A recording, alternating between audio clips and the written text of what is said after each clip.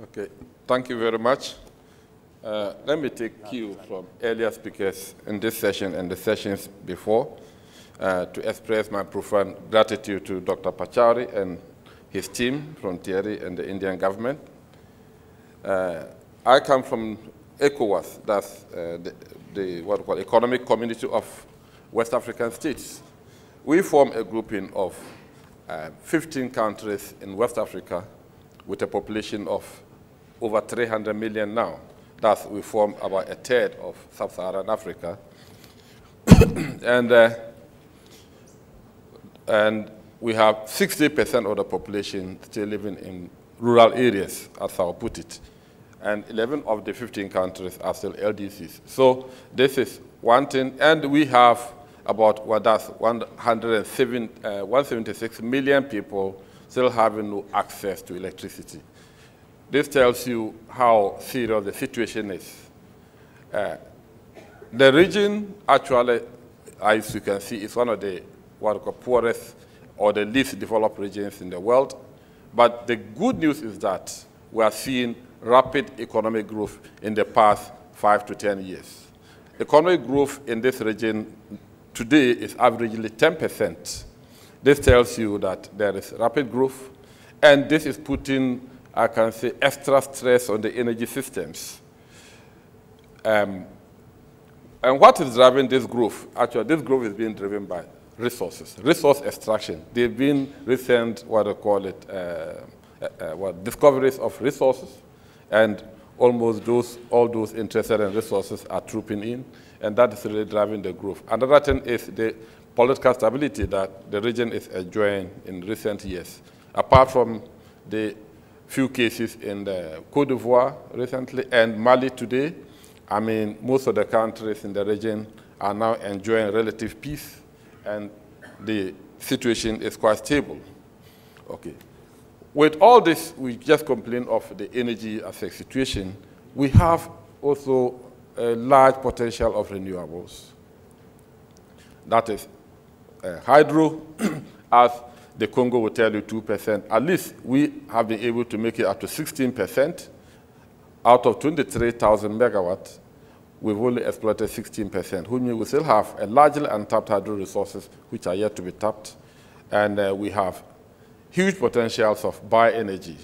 As Dr. Moga put it earlier, up to today, 80% of domestic uh, fuel still come from, uh, I can say, bio, that's biomass resources, which we exploit in an uncontrollable manner. and it's now creating even health and environmental hazards in the region. Solar radiation, I think we have some of the highest solar radiations in the world, but we don't have a lot of solar uh, applications being deployed in this region. And wind, we have considerable wind in isolated uh, locations. And we still have the potential to exploit uh, energy efficiency technologies to the benefit of the people. All these have not been done. and this was what led to the establishment of the ECOWAS Center for Renewable Energy and Energy Efficiency. Uh, back in 2009, we got established, and with the main objective to create the enabling environment for renewable energy and energy efficiency markets in this region.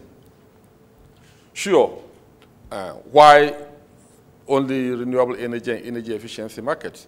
We also have fossil fuels, but of course, uh, the fossil fuels are only located mainly in one region, uh, in one country out of the 15, and even that country still does not have stable or reliable electricity. So this is to tell you that even if we have fossil fuel, that fossil fuel will not well, fuel the engines of Africa. It will fuel the engines of Europe and America, not Africa. So, and uh, we've seen it. So the emphasis has been now, why don't we rely on renewables? At least nobody can carry the sunshine away. Nobody can carry the biomass away, it's too bulky. So why don't we focus there? And particularly for those who do not even have it, because what happens is some of them even have fuel, uh, fuel uh, uh, what call fossil fuel powered fuel, uh, power plants. And for most of the year, they had to put them off because they cannot afford the fuel bill. So these were some of the things that led to the establishment of ECREEE, and sure, with the support, the technical assistance of UNIDO, and the support of the governments of Spain and Austria, we got started in 2009. And we focused on uh, what we call it, four key areas, which were actually the main barriers to the development of these technologies in West Africa. That is capacity building, policy, uh, policy support, knowledge management and awareness, and then investment and business promotion. So I would say on the capacity building uh, side, we have been running quite a number of capacity building programs for policymakers, utilities, and uh, other interested groups, including the financial institutions in the region, to get them up to speed, to get their understanding of renewable, uh, renewable energy and the benefits they can bring. At the same time, talking of energy efficiency. And TERI is one of the institutions that we have a collaboration with on capacity building. Uh, since last year, we ran a few capacity building programs with them, and we're going to do some this year again. And with the policy support, uh, we as a region, as of the 15 member states, have come up with what we call the regional policy for renewable energy and another regional policy for energy efficiency, which we got adopted just in October uh, last year. And these policies all set targets that as a region, we should try to attain. Sure, as I said earlier, like we have seen up to what we call it, 10% uh, growth in the economies of the countries. And this is really putting stress on the energy systems. And the countries are forced to go on a more carbon energy path because they thought that is a quick fix solution. Uh, you'll be surprised to hear that today Senegal is constructing a 500 megawatt coal power plant. And Nigeria, that closed its uh, coal, power, uh, uh, coal mines 80 years ago, are talking of reopening the coal plants, although they have a lot of fossil fuel, other fossil fuels. And Togo, Benin are talking of constructing a coal-fired power plant. This, and we don't take measures today before we realize the whole region will be plagued with more carbon solutions, which is not the best. So we have set these targets, and these targets are for all the countries, adopted by all the countries, and all the countries, each country this year is supposed to come out by the end of the year, the contribution of renewables to fill this basket of ECOWAS targets. So some countries already have, and interestingly, we have a country like Cape Verde that is talking of 50% uh, renewables by 20, uh, 2015 and 100% renewables by 2020. Sure, uh, they have really made strides since they said 50%. Uh, as we get along, you will get to see. Today, they've already gone beyond 25%, and they are on the way to the 50% target. And, but we have others who have not got any targets at all. This is the time to put pressure on them to come up with targets, tangible targets, to fill in the basket that we are creating for the region. And uh, we'll be working on that this year. So we also set even targets for what we call LPG, as I told you, domestic fuels, as a 80%, uh, biomass account for 80% of domestic uh, fuels in the region. Uh, that is not a very good thing. so as I said, we also set targets for energy efficiency.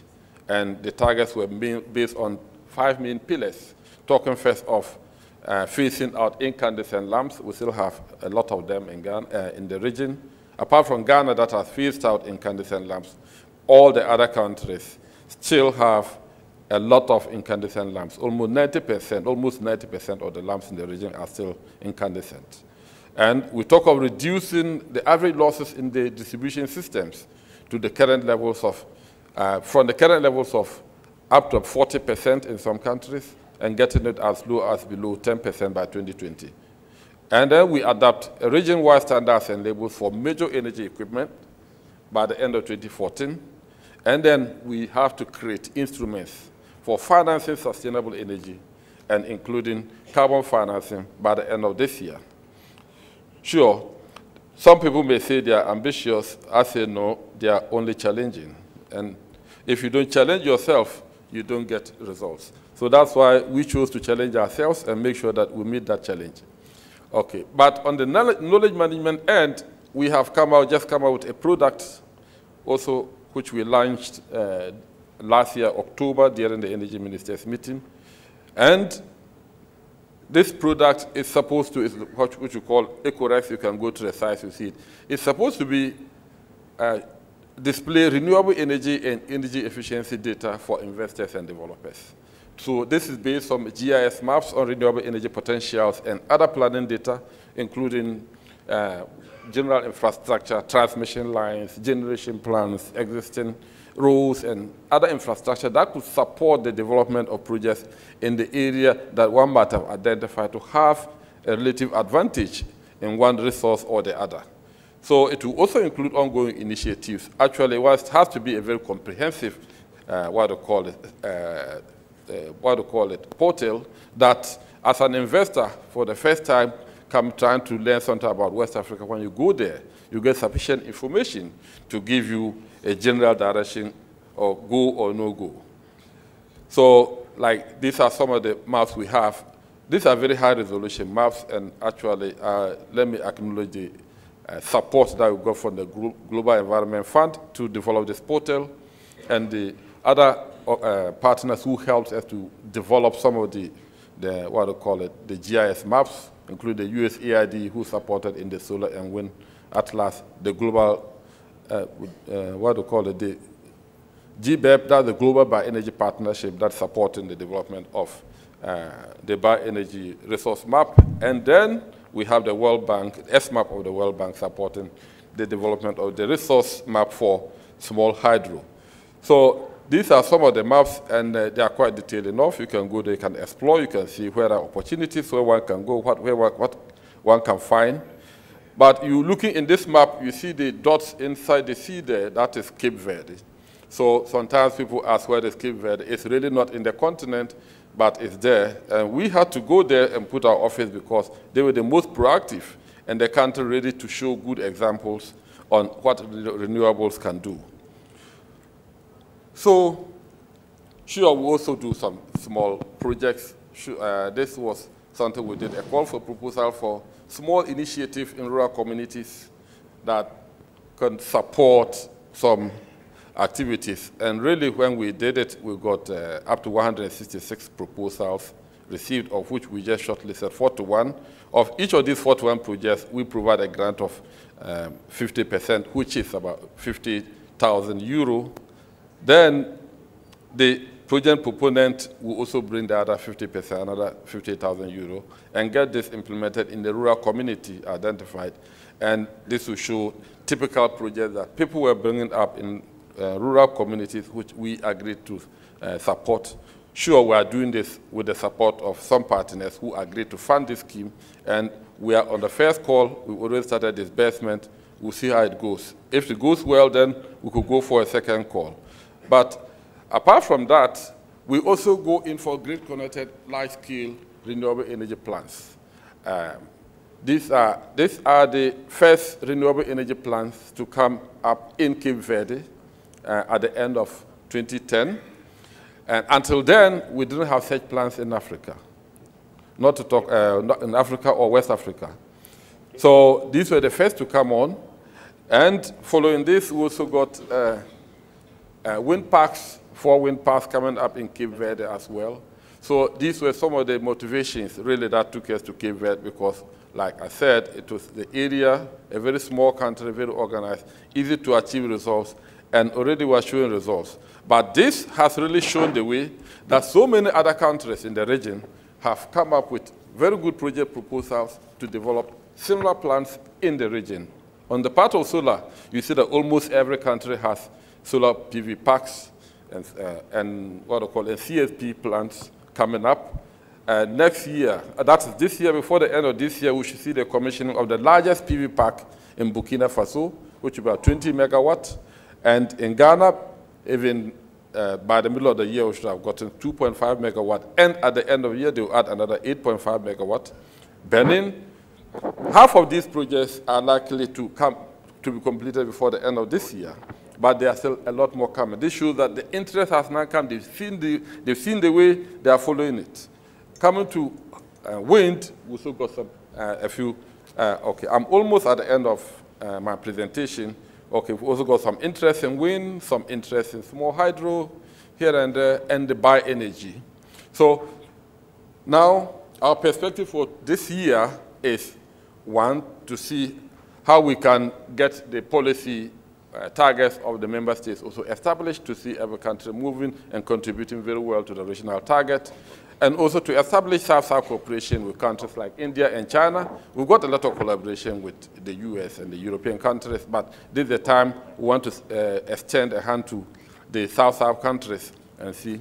Then develop our capacity building plan and also support the other regions, that's the East Africa and Southern African regions, who have shown interest in emulating this example and see how can we support them to also take off.